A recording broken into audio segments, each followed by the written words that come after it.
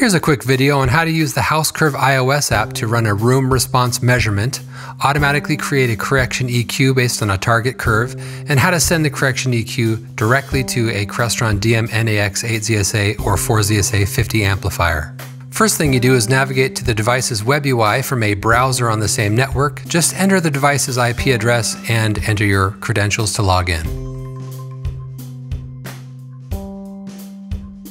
Once you're in, you select the Settings tab and go to the zone that you wish to calibrate. In my case, I'll be working with the SMT6T zone, so I will click the Configure button for this zone. In this next page, you're going to make sure that the tone profile is set to off, the bass and treble EQ settings are at zero, and loudness and night mode are in the off position. Then expand the output accordion here and scroll down to the speaker profile area. If you're using a speaker that we have a profile for, select that speaker. In my case, I'm using our Saros SMT6T, so I'll search for and select that model. Once I have it selected, I'll hit apply. That speaker profile is now loaded. Now for the calibration process, I'll turn this protection off. I'm going to scroll down and make sure that I have the AirPlay toggle for this zone set to the on position, ensuring it will show up as an available AirPlay endpoint on my network. From here, I'm going to scroll down to the EQ section and reset all bands, essentially zeroing out the EQ. In my case, only one band moved very slightly, but in your case, you may have several bands flattening out. Now I'm ready to open HouseCurve and run the calibration process. When you initially open HouseCurve, it will ask you to connect to an audio system to measure. To do this, you tap the AirPlay icon in the upper right corner. This opens up a window that shows the AirPlay enabled devices on your network. If you have a multi-zone streaming amp like the 8ZSA or 4ZSA50, you'll see all the zones that have AirPlay enabled. Select the correct zone. In my case, I'm selecting this SMT6T zone that I just set up. When the connection is successful, you'll see a check mark on the right-hand side of the zone listing. You'll also see that the streaming volume can now be controlled by the volume controls on your mobile device.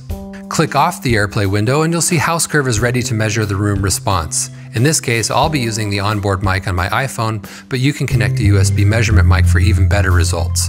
Stand in the main listening area and hit the plus sign in the lower right corner. When you do that, you'll see the green notification saying it is listening for a test signal. You'll hear it like so.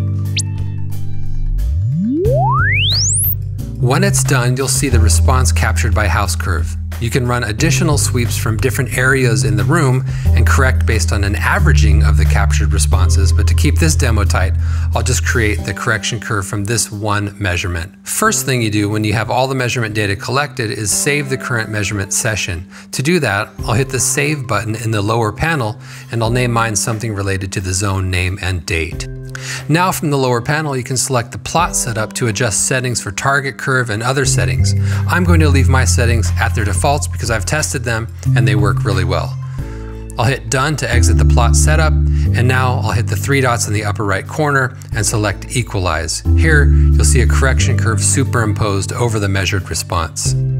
There are a ton of fine-tuning features within the Equalize setup menu on the lower panel, but for the purposes of this video, I'll again just leave these at their defaults. Now to export the filter information directly to my 8ZSA, I will select the filter export icon on the lower panel, select export filters, select the Crestron DM-NAX filter format, this will bring up a connection screen for your amp. Make sure the IP address and login credentials are entered correctly.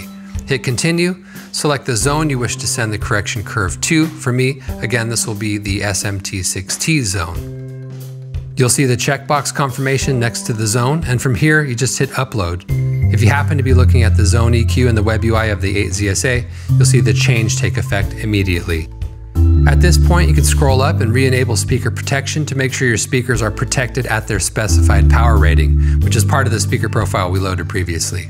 Once you go through the steps a few times, you'll see how simple and intuitive the process is. Good luck and happy tuning.